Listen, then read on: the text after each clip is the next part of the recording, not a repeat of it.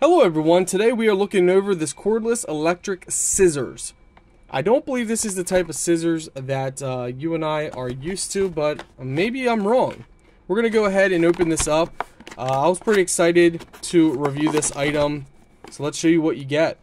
Okay, this is what you get. Now, when I said it's not your typical scissors that you're thinking of, you know, the scissors that snip, snip, snip, you get a power cable. It is a Type-C, so we know it's an updated, a manual, and this is it. Now, um, when you press the trigger, nothing happens, but please keep in mind this is very sharp. Uh, keep your hands away from this area at all times. Charge it just by connecting to the bottom of it. And to turn it on, you just simply press the button here, right there. It gives you a little light. And that's all you do. Then you simply run the item through like this to cut and it's just an automatic scissors, which is pretty cool.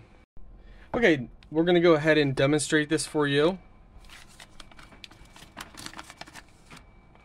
As you can see, turn it on, it automatically goes off.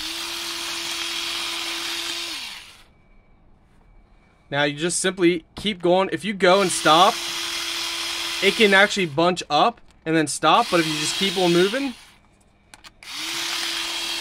just keep on moving. Obviously, I'm not cutting straight. I'm uh, not really taking my time at it. But as you can see, of course, keep your fingers away from here so you don't cut yourself because that could hurt. Now let's see how strong it can cut.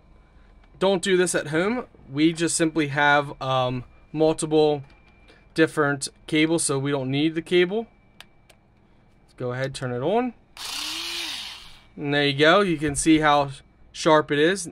Obviously by cutting stuff um, that's thicker that's not paper it's gonna wear on the blade a little bit. But as you can see it's pretty amazing. So I think this is awesome. I love this a lot. And I love that it automatically goes off and then you know the trigger can't do it until you push the button again.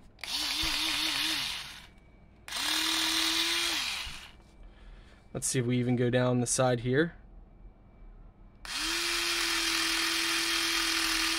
Look at that.